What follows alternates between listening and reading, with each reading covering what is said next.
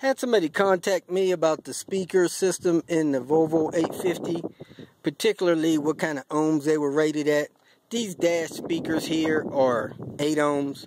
These two front door speakers here are 4 ohms. Uh, my back rear door speakers are 8 ohms and my rear hatch area speakers are 8 ohms. So the only ones that are 4 ohms are these front door speakers. I'm not sure about the ones on deck in the sedans.